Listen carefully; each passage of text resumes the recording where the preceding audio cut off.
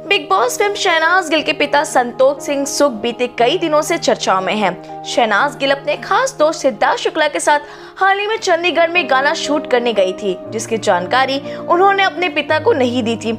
और वह इसी कारण से शहनाज गिल के पिता उनसे काफ़ी नाराज़ हो गए हैं। और उन्होंने मीडिया में तीखे बयान जारी करते हुए कह दिया है कि वो कभी भी शहनाज गिल का चेहरा नहीं देखेंगे। वह इस बयान के बाद अब उनका एक नया वीडियो काफ़ी वायरल हो रहा है, जिसमें उन्होंने कहा है कि वो शहनाज और सिद्धार्थ के रिश्ते के खिलाफ नहीं है, लेकिन वो दोनों को एक साथ देखना नहीं चाहते हैं। वेल संतोष सिंह सुख के अनुसार उन्होंने कहा है कि मुझे नहीं पता है कि उसने बात करना आखिर क्यों कम कर दिया है, वो अपनी माँ के टच में है। उसने बिग बॉस 14 और मुझसे शादी करोगे खत्म करने के बाद से अपने ग्रैंड पेरेंट्स से बात नहीं की है।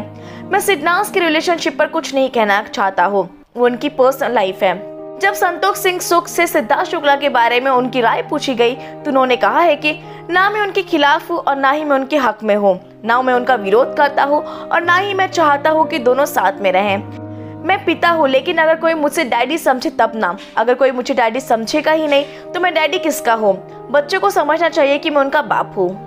आपको बता दें दोस्तों कि सिद्धार्थ शुक्ला, शहनाज गिल जल्दी अपने एक नया सॉन्ग वीडियो लाने वाले हैं। इस गाने की शूटिंग के लिए दोनों कुछ दिनों के लिए चंडीगढ़ गए थे। तभी से संतोष सिंह कुछ उखड़े उखड़े नज़र आ रहे हैं। तो वही कई लोग इसे सिटनास का पब्लिसिटी स्टंट भी मान रहे हैं। वैसे आपको इस पूरे मामले पर क्या सोचना है, हमें कमेंट करके ज़रूर बताएँ और हमारे चैनल को सब्सक्राइब करें।